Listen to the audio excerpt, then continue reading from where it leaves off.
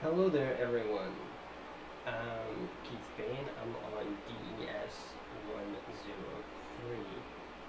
I'm here today uh, to give homework exercise for week one. Now, a brief description before I play the video is we were to play a game, start from the beginning, and we had to answer a few things and take notes. So we have uh, our main question is quality because this is for the subject quality assurance. So questions on quality. We have ergonomics, aesthetics, demands, durability, services, economics, value, and usability. The notes I've taken is what's the initial experience, how is each component of the game uh, purposely designed, were there any bugs, and find out if there's any amazing fact about the game. Okay, so the game. The game is Chernobylite. The format that it is on for the purposes of this video is PC. The status of the game is in alpha testing. The genre is a survival RPG. This game was purchased on Steam when it was an alpha. I chose this game due to it being such a new title on the market, as well as its theme. I've also watched behind the scenes documentaries and a little bit of the production data on the game. And hopefully this will give you an insight into why I chose this. Okay, let us start with the video.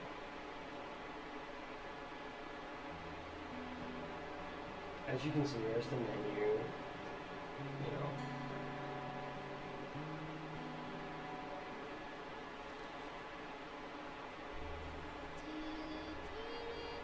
The ergonomics of the game is basically centered around the fact you're using keyboard and mouse.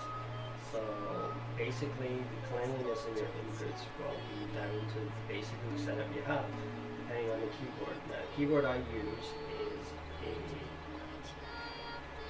uh, Log Logitech G Series 810 keyboard and my mouse is a SteelSeries Sen, uh, Sensei 310 and basically use this as we went through. Now, I'm going to quickly move on to the aesthetics of the game. This scenes here, uh, minus obviously the implementation of video in Windows, these were all photographs taken from Chernobyl and Pripyat in Ukraine. A lot of these scenes and photographs are great, are using photo bashing to get these effects obviously the operation walking across, but these are actually taken from real places in Pripyat in Ukraine. This is where the infamous uh, disaster was that's part of the base story of the game.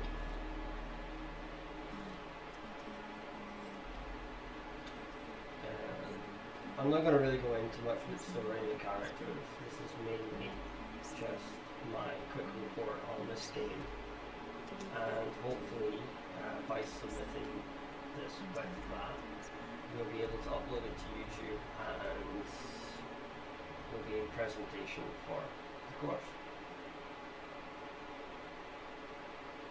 This is starting into the actual game though. Uh, full motion video was the introduction as I went all the way out the thing. So you're basically told to stop as you can read from that. Starting off, you can like move around, use the mouse to move around. The um, the demands upon the system can be quite hard depending on the level. Now this is maxed out settings uh, on a 1080p monitor, and I'm still getting roughly between between 70 and 90 FPS on maxed out settings. Um, using the arrow keys at the moment, as you can see, it's very fluid and easy to move around it. This is taking and showing their position from the actual disaster, like nuclear reactor number three going off. And that is their modeling and representation of the Chernobyl plant now. with the second to on the nuclear area of the disaster. The game has a lot of stealth in it. Uh, as you can see from this point, we are sneaking around trying to to get into the power plant. Um, you will see messages about you know having to stay quiet and all that.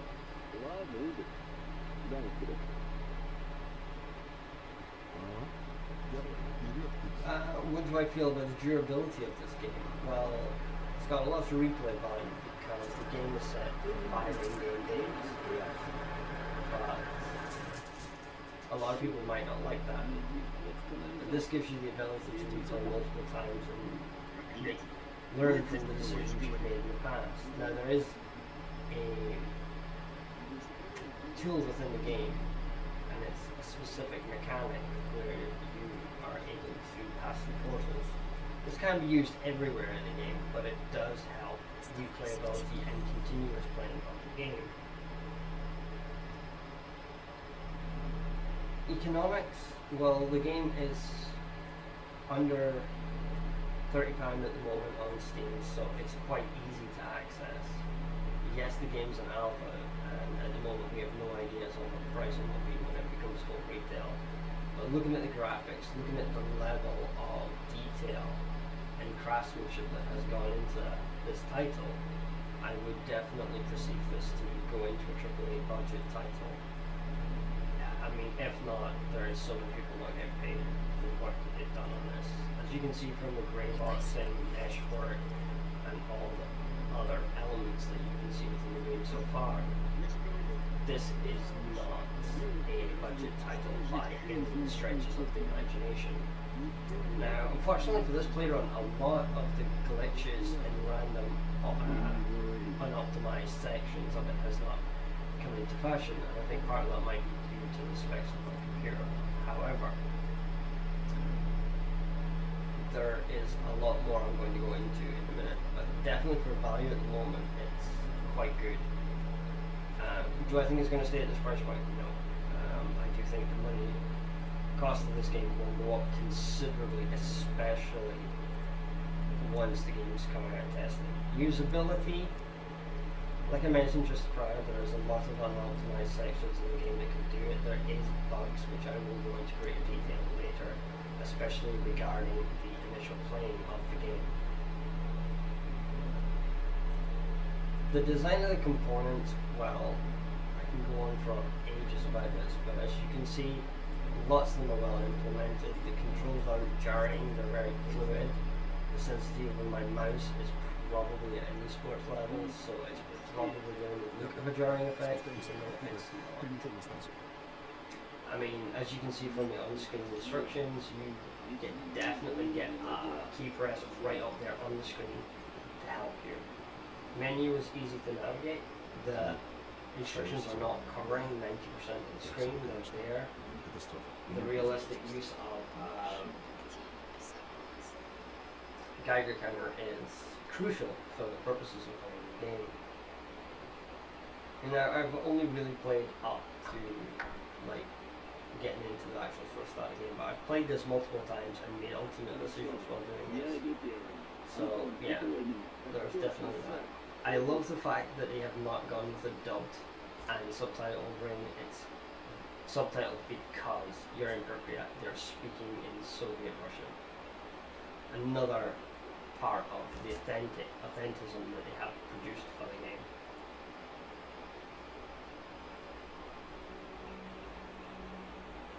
Bug reports.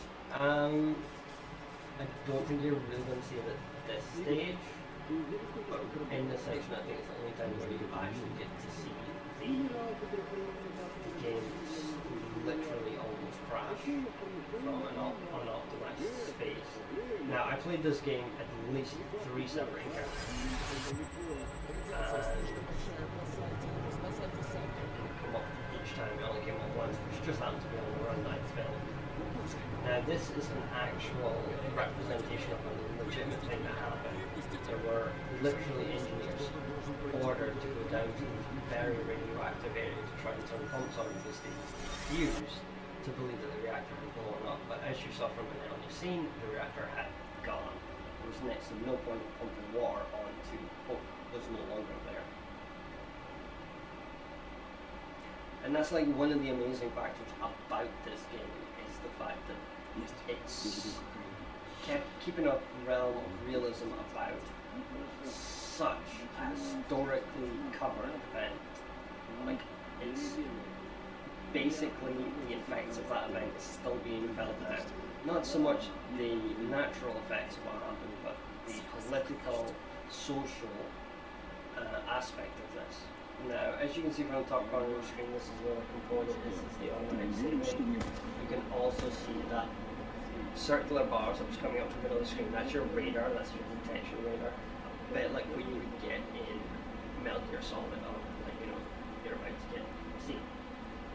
Um, the control room here, yet again, very authentic, very close to what was actually photographed and recorded in Chernobyl power plant in Pripyat. Um, Storyline, as you can see, he's haunted by his past. There's voices and triggers.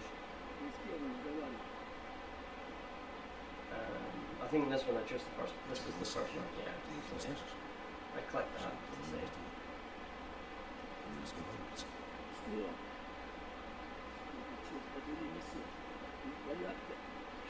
So as far as unique things goes, is the interactions are a bit unique got this. Do you want to just be truthful for the whole game and basically look like you are um, crazy for the whole game? But a lot of things are going on. A lot of things you're seeing.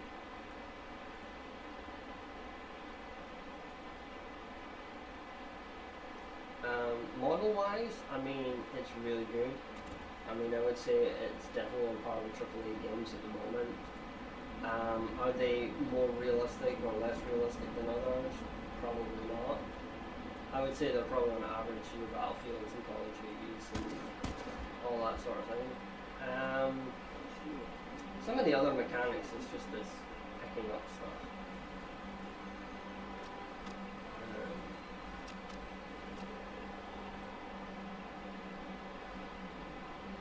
there was a lot in this kind of scene because, like as, as you can see, I never played this game before. I was not 100 percent sure what was going on. So I was like walking around, and I'm fast forwarding here just because you know it took a wee while.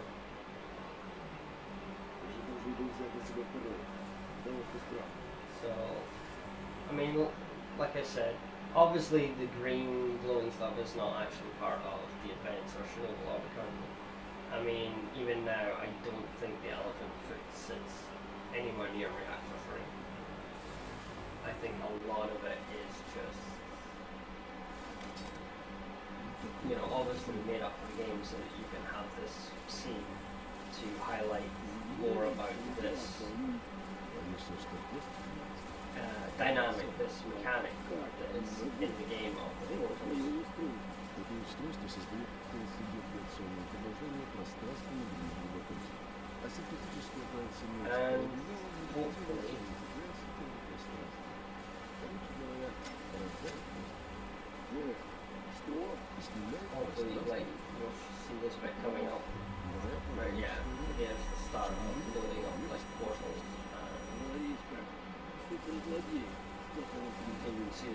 what brings the whole time element into it, like having only five days to discover what happened to Tatiana.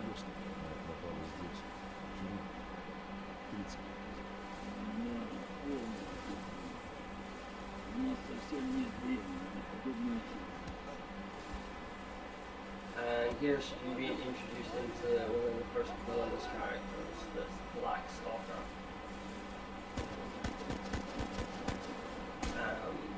Pretty sure the portal shield is something that will become more apparent later on in the game.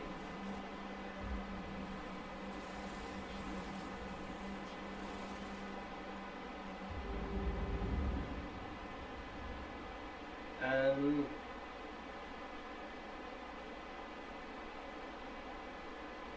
this is uh, obviously the part of this unique mechanic. It's like scrolling through this area, which is to represent time and space. It's, it's a wonderful little mechanic. I've really enjoyed this aspect of the story and how they've incorporated it nicely. It's not just, you know, bullet time or rewind features or just something that's just there because they wanted to add it. This is very crucial to the story, like how this came about, why it came about, why is this guy a scientist, why does he need a protector, um, why he invented story. All of this is, is crucial to the story. The story, of course, is fiction, there's no reality in it. But just a lot of the amazing things about this is obviously authentic visuals, authentic representation. The rendering and modeling is nice, but it's, it's fixed. It's not overly cartoony. It's not overly uh, 3D generated. Um, it's very in keeping in set. It's very harkening back to previous games set in this kind of universe, like Stalker, um, Shadow of Chernobyl, and Call of Pripyat like you said, smooth gameplay, even though it's not optimized. It's very demanding on the system, but it's still. The construction elements to this game is also quite well and quite nice. Um, you can see more as we kind of go through. As you see, it's day one, Chernobyl, but because you've only got five days, you're kept in track of the days like more scenes and storyline as you're just and the Geiger counter is another thing. Radiation is a real difficulty within this game. It's not an afterthought, it's very much and this keeps harkening back to the realism of where, where the story is based and what, what they're on about. And just keeping like true to obviously the factual incidences that happened uh, in Pripyat. Uh, yeah. Sorry. There we go. Uh, this is like showing you how radiation in you not just like can kill you, but it can also affect your progress. So you know you have to go deal with it, come back. Um, I'm just fast forwarding through this because you know that's basically the game. Um,